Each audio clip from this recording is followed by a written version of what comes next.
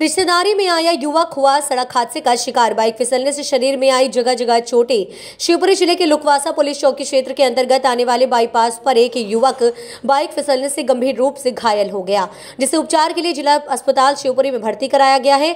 बताया जा रहा है कि बदरवास का रहने वाला युवक रिश्तेदारी में लुकवासा आया था, तभी वह सड़क हादसे का शिकार हो गया। जानकारी के अनुसार देवीलाल जाटव, उम्र पैंतीस वर्षीय निवासी बदरवास रिश्तेदारी में लुकवासा आया था। इस दौरान वह बाइक में पेट्रोल भराकर अपने घर बदरवास लौट रहा था।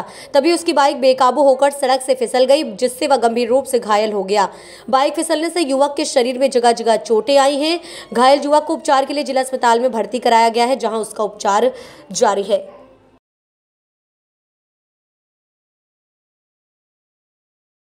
नाम है तुम्हारा? धनपाल जाटव। कहाँ के रहने वाले लिलवारा। कहाँ पड़ता है ये? लुकवासा के पास में। अच्छा चौकी लोकवा से लगती है। हाँ। थाना? बदरवास क्या हो गया था भैया? पेट्रोल पेट्रोल पंप पे गिर पड़े कैसे मोटरसाइकिल से? नहीं मोटरसाइकिल से जा रहे थे तो मोटरसाइकिल फिसल गई तो गिर पड़े। क्या नाम है इनका? देवीलाल जाटव। देवीलाल जाटव। अच्छा ये किस जगह की घटना है? कौन से पेट्रोल पंप की?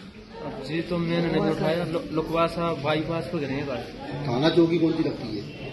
फिजिकली थाना चौकी लुकवासा आपका क्या नाम? धनपाल। कहाँ के जी बदरवास